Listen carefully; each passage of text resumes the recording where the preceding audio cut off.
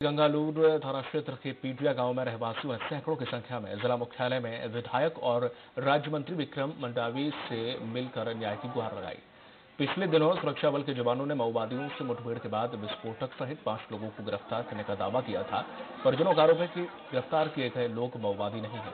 सुरक्षा बल के जवानों ने निर्दोष आदिवासियों के साथ मारपीट की, ग्रामीण मुठभेड़ को फर्जी बताते हुए जवानों पर पंद्रह हज़ार रुपए भी, चुराने का आरोप लगाया। पुलिस के द्वारा चार पाँच ग्रामीणों को उठा के लाया गया था, उनके पता सजी में लाए थे। और मुझे बताया अपनी समस्या, मैंने एसपी से बात की तो एसपी ने कहा कि उन्हें जेल हुआ है और इन्हें अवगत करा दिया है। वहीं इंदौर के तेजाजी